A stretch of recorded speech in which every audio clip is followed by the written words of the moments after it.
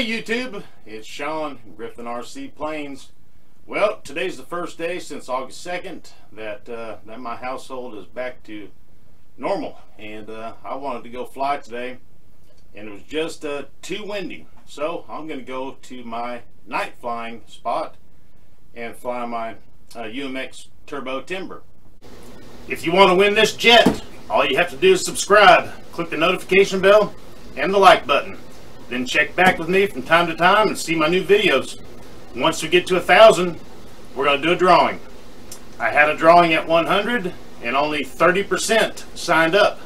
With those odds, it could be a 1 in 300 chance. Subscribe. Check me out, guys. Then I remembered that the last time I flew it, I messed up the propeller.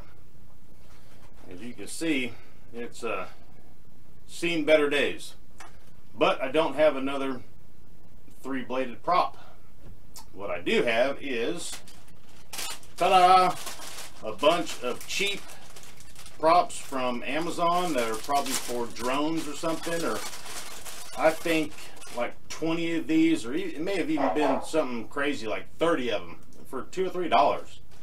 And they come with the prop adapters where you can adapt them to all kinds of different stuff. So let me show you how I build one of these.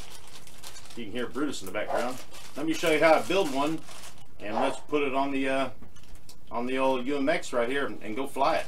So first things first, let me get my uh, airplane stand here. All right, one cool thing about the UMX plane lineup is that they come with a workbench right here. Just like so. Now you got a cool way to work on it. Let's um, let me get a prop and, and a adapter out and we'll build one together. There we go. So these are five by three props. The prop that comes on this thing is in millimeters. It says 120 by 70 and 120 by 70 is roughly like four and three quarters of an inch by oh two and three quarters of an inch something like that. So so a four and three quarters by two and three quarters three uh, bladed prop and then a slightly bigger two bladed prop no problems. You could probably actually go a little bit longer on this prop to equal the two versus the three bladed. You know so if your motor's strong enough to spin to spin a three-bladed propeller, you know, this big, then it can definitely spin a two-bladed prop, you know, the same width. So a little bit longer is no no problem at all. I've on my other UMX, I fly these little tiny props all the time. I only have the you know the one that came with it for the first time. I, I don't buy a five dollar replacement prop when you can spend five bucks and get you know a whole bag of them. So, anyways, we got a prop and then we'll need the prop adapter. And I know which one it is. Right there. So let's uh let's put the two together. All right guys. So I've selected uh, what little adapter I'm going to use. I made sure that it fit onto the onto the motor all right? And then grab your propeller and make sure that the adapter goes in the prop all right? And then I'm going to take some thin CA which is just super glue really thin and I'm just going to put one drop down in here. Don't we don't want to get where it slides onto the prop adapter but we want to go where we're connecting the orange and the black on the inside okay? Just get one little tiny drop down in there.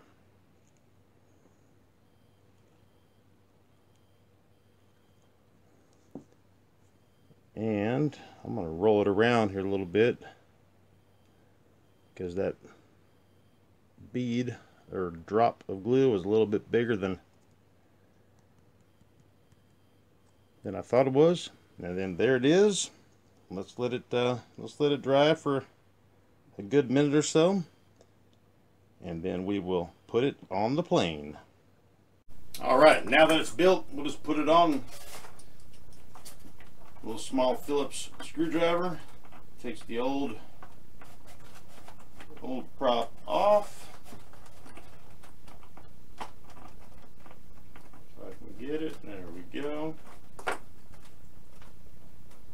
and then you don't want to just yank on it because things are delicate inside. So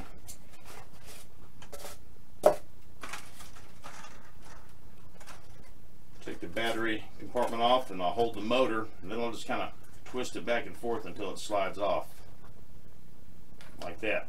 And then the way it's going to go on, this adapter is kind of recessed in there and it's going to go where the screw goes down in the recessed part. So you might have to do it like that.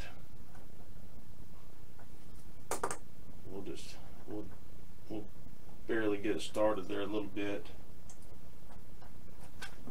And get your butt on there.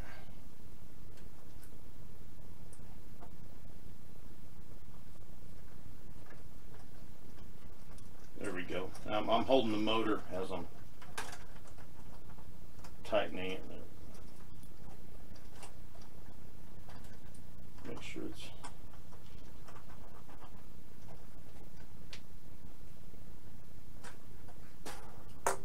like so. So I say we go fly this thing. So the next video will be uh, of the UMX Timber at my night flying area. So until next time you'll see me here. Thank you, guys. Alrighty. Awesome little transport port case. That guy.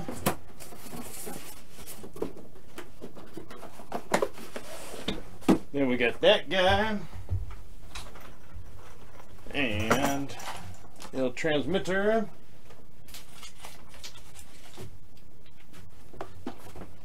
And I use an older DX6i. Get some batteries loaded up here.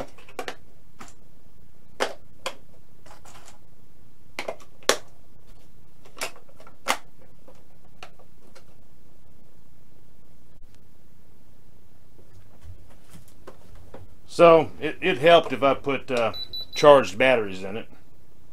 So we're golden. Good to go. All right, let's go fly.